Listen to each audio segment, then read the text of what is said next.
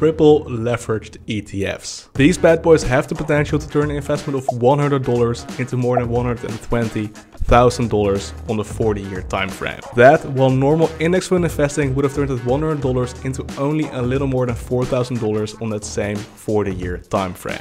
In this video, I'll tell you everything you need to know about triple leveraged S&P 500 ETFs.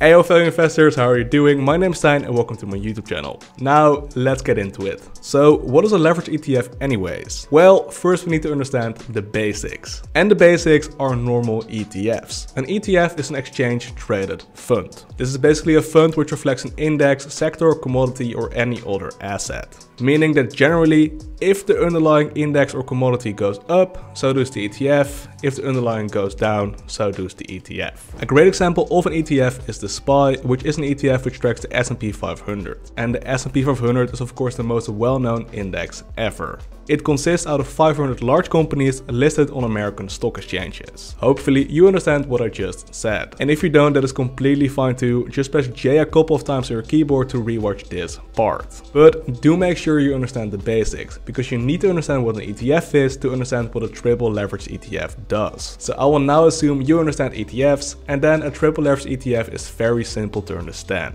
Most leverage ETFs are either two or three times leveraged. It doesn't really matter, but what does matter matter is that it is daily leveraged. Say the S&P 500 goes up 1% in a given day. A 2 times leveraged ETF would then go twice that, so 2%, and a triple leveraged ETF would go 3 times as much, so 3% in a given day.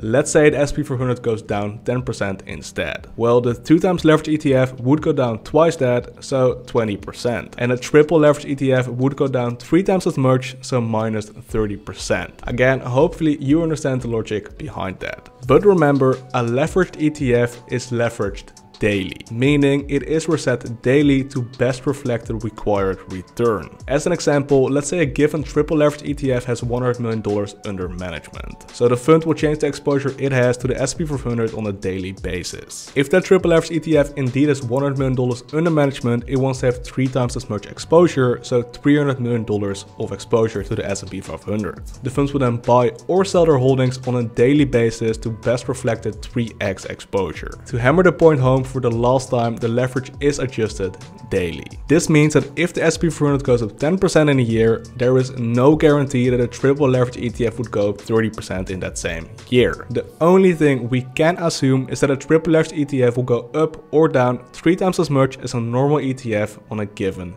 day. Long-term leverage ETF returns vary wildly compared to normal index returns. However, the potential of leverage ETF is still second to none. And leverage ETFs exist for a lot of commodities and even indexes. But the topic of this video is the S&P 500. Let's talk about the potential of a 3 times leveraged S&P 500 ETF. According to Google, leverage ETFs were only first introduced in the year 2006. But no worries, I've done a lot of due diligence for you guys. For this video, I have created historical S&P 500 triple leverage ETF data all the way back to 1940. To do this, I've downloaded all the S&P 500 price data from 1940 until the 11th of November of 2021. Then I calculated the daily return of the S&P 500 for this time frame. And then I calculated how well a triple leverage ETF would have fared during this this time period. These are my findings. So if you had invested $100 into the normal S&P 500 in the 1940s, it would turn into a whopping $36,811 just 81 years later. So in this chart, the blue line shown here is the return of the S&P 500. And the orange line, well that is what would have happened if you had bought into a triple leveraged S&P 500 ETF all the way back in 1940. You wouldn't have $36,000 today, no, you would have about $10 million today. $100 into $10 million over the course of one lifetime. Truly insane. And that is why I am so hyped about triple leveraged ETFs. They have the potential to turn insignificant sums of money into truly insane figures given the time. So for this part of the video, I have looked at what would have happened if you had put $100 into the SP 500 compared to $100 into a triple leveraged SP 500 ETF for the first trading day of every decade starting in 1940. So again, for 1940, you'd have gotten roughly $37,000 into the normal S&P 500 and roughly $10 million into the triple leveraged fund. 1950s, 28k for the normal fund and $9.1 million for the triple leveraged fund. 1960s, roughly 8k for the normal fund and $360,000 for the triple leveraged fund. 1970s, roughly 5k in the normal fund and $106,000 into the triple leveraged fund. And this is an important one. 4.3k in the normal fund versus 126k in the triple leveraged fund. I find this one important since January 1980 is roughly 41 years ago. A lot of the young people watching this video are probably roughly 40 years away from retirement. Therefore, it is awesome to see that a really really small amount of money can still generate insane returns given the time. 1990s 1.3k versus 9k in a triple leveraged fund. And again an important time frame. This is the only time frame we will be looking at where a triple leveraged fund didn't beat the normal S&P 500. Of course the year is 2000. Mainly because of the internet bubble, your return in a triple leveraged fund would have only been $250. While of course the normal S&P 500 reigned supreme at $320. So yeah, this time frame shows us that it's indeed possible to lag behind the normal S&P 500. So why did this happen? Well, I will tell you why this happened and how you can partly mitigate this risk in just a bit, so do make sure to stick around. Lastly, $100 in 2010 would have turned into $410 in the normal S&P 500 while returning $2.3 thousand in a triple leveraged fund. So we found in almost all time periods, a triple leveraged fund performs way better than a normal S&P 500 ETF does. So much so that investing only a small amount of money, let's say $1,000 in 1980, gives you the potential to double your retirement funds. A lot of people retire with roughly $1 million to the name or even less in a lot of cases. But if you had invested $1,000 in the 1980s into a triple leveraged S&P 500 ETF, you would have roughly $1.3 million extra today. That is in addition to your normal retirement funds. I think this is truly extraordinary. And that is exactly why I find triple leveraged ETFs so interesting. They have the potential to turn insignificant amounts of money into very significant funds. But as seen by the 2000 example, they are power risky. For those interested, these are all the compounded average growth rates I've calculated for every time frame. Pause the video if you want to analyze them for yourself. Additionally about these results, I did not include the cost associated with the ETFs. Generally, normal S&P 500 ETFs have very low cost structures. That is what triple leverage ETFs can have significantly higher cost structures. For example, the triple leveraged S&P 500 ETF I personally invest in has a management fee of 0.75% on a yearly basis. Also, do keep in mind that past performance is not a guarantee for future returns. Now, let's talk about the risks. I think there are three main long-term, and I mean long-term, risk associated with triple leveraged ETFs. This is extremely important to understand before you start investing, so please bear with me. The first risky bad boy is volatility drag. This sounds really complicated, but it truly isn't, so pay close attention. This is basically the result of quick maths and is easiest shown in an example. So the normal fund starts at $100. It goes down 3% for 3 consecutive days all the way down to 19.1 dollars. But then it recovers with a whopping 9% return on the final day to end up basically where we started at 100 dollars. And the triple leveraged ETF, well it goes through the same days, but it has to triple the returns. And it doesn't end up at $100, no it ends up at $96 instead. And that is because of volatility drag. So basically, if the S&P 500 trades sideways or downwards for a long as time, you get hurt badly in a triple leveraged ETF. This is also what happened in the 2000s, where the S&P 500 took a long as time to recover from the internet bubble. And as a consequence, triple leveraged ETFs suffered big time. Although if the market goes up like it tends to do on long time periods, volatility drag is almost a non-issue. And there is a way to deal with this issue for the most part. We'll talk about that mitigation in just a bit, but first, if the S&P 500 were to go down more than 33% in one given day, you lose everything.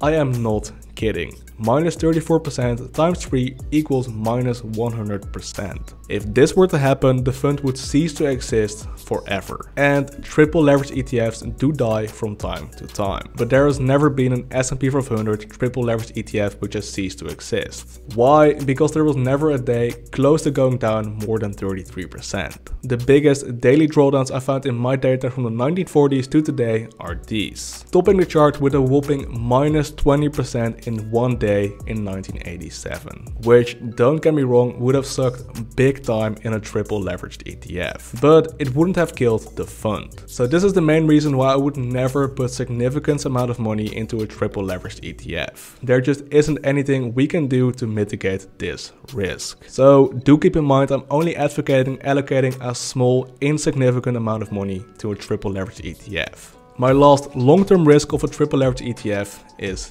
dividends, since we aren't getting those sweet passive income divvies with triple leveraged ETFs. So yeah, that is a risk. If the future returns of the SP 500 become more dividend heavy in the future, we will be missing out on a lot of the gains. So again, be aware that you do not get any dividends when investing in triple leveraged S&P 500 ETFs. By the way, some of you might ask, but I do not see leverage as an inherent risk, since well, that is the opportunity we are abusing. Nobody should ever trade leverage ETFs with significant amounts of money anyways. So I just told you that I believe there's a way to partly mitigate volatility drag. So let me now tell you how. This way is called dollar cost averaging. By now you probably have heard this term hundreds of times already, so let's just do a quick refresher. Dollar cost averaging is where you build up a position over time, slowly adding a bit of money each time you invest. And the idea is the further you spread out your investments, the more average your entry point becomes. Dollar cost averaging can be done by investing weekly, monthly, quarterly or even yearly. It doesn't really matter. What matters is that you invest as much and as often as you would like over time. My data shows that you would get amazing returns if you dollar cost average into an S&P 500 triple leveraged ETF. In the following experiments, we are investing $100 on the first trading day of every single month for the following time frames, starting with January 1980. This is where dollar cost averaging $100 into the S&P 500 every single month would get your funds up to $507,000 today, which would be a gross profit of $457,000 excluding fees, taxes, etc. If you had invested $100 every single month into a triple leveraged ETF instead, that would have turned into a mind-boggling $6.6 million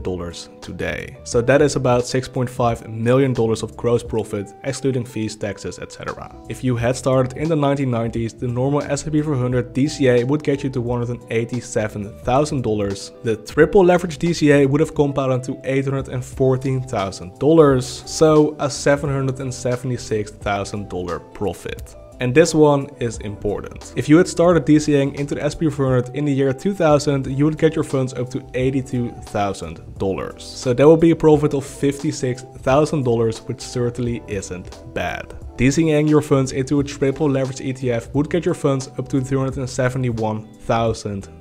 So generating a staggering $245,000 of profits. Remember folks, this is the time frame where a one-time investment into a triple leverage ETF would have lost out to a normal S&P 500 ETF. So it seems that by dollar cost averaging, you can mitigate a lot of the risks. So in this case, if you had started investing into a triple leverage ETF in January 2000, you would have gotten a return of almost 1000% to your total contributions. A 10x return by dollar cost averaging. And of course 2010 where you would have gotten a profit of $20,000 in a normal fund and $113,000 of profits in a triple leveraged ETF. So by now I've hopefully conveyed to you why a triple leveraged S&P 500 ETF can be a great hold for the long term. However, do keep in mind that these bad boys are still extremely risky. If the S&P 500 ever went down 34% or more in one given day, everything is gone. And even if that doesn't happen, leverage can slow you down on the long term. If the market traded sideways for longer than we've historically seen thus far, well, your triple leverage ETF wouldn't do so well in that